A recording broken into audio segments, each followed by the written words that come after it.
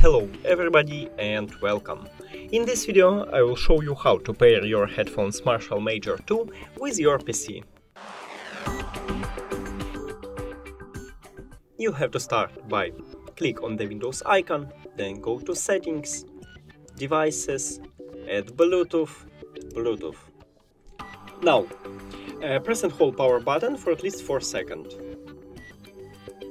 After that, click two times on power button. Now the LED light is changing, that it means that it's entering to pairing mode. So we can see our headphones, click on it, and then click done. And we did it!